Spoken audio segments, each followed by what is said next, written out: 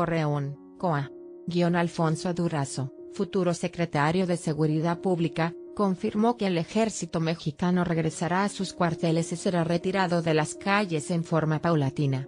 Tenemos que atacar las causas políticas y sociales de esta problemática, pues no es posible que existan en el país 2.600.000 jóvenes que ni estudian ni trabajan y nadie ha sido capaz de hacer algo por ellos, reiteró Alfonso Durazo Montaño.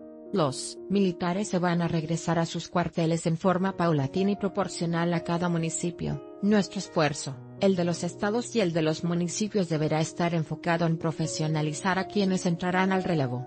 Reiteró que serán 18 foros y 25 espacios a donde acudirán en forma personal como cárceles, poblaciones y la Sierra de Guerrero, en donde desafortunadamente se vive de la siembra de amapola.